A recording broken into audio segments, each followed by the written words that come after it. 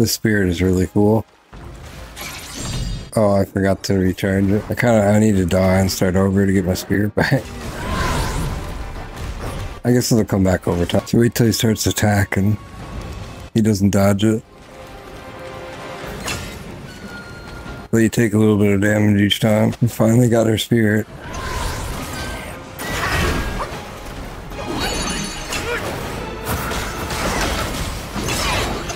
Poison snakes. No way. Two mines, long fray leaves, but one to stay.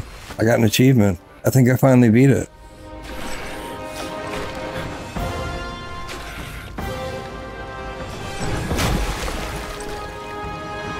I thought there was another phase. This must, I must got an achievement because this is a secret ending.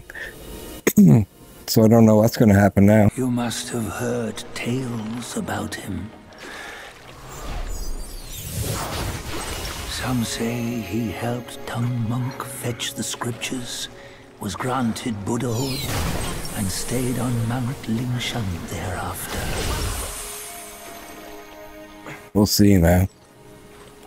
There's two endings.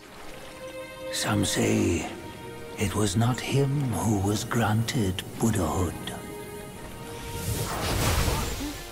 The real him was already dead on the journey to the west.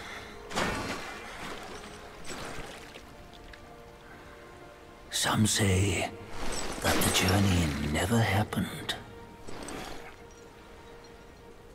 He is nothing but a monkey who lives in some storyteller's tall tale.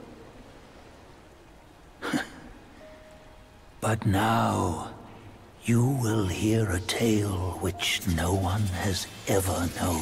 What does it matter if you become a Buddha? That headband has always been on your head. Keep those eyes wide open. Watch me rip it off. And break free! Sun Wukong, when you defied the Celestial Court, I had to seal you beneath the mountains with my immense power.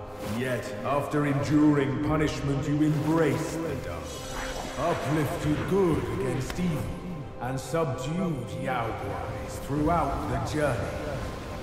For your contribution, I now bestow upon you the title of Victorious Fighting Buddha.